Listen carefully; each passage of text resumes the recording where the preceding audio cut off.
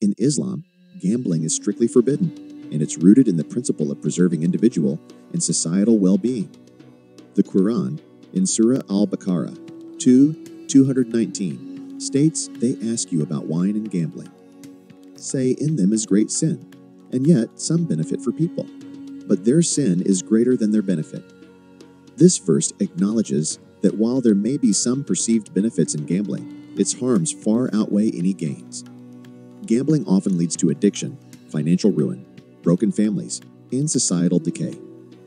It encourages reliance on chance rather than hard work and ethical means of earning a livelihood.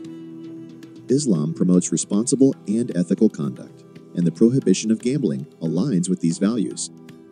It's a reminder that our actions should contribute positively to our well being and the well being of society as a whole.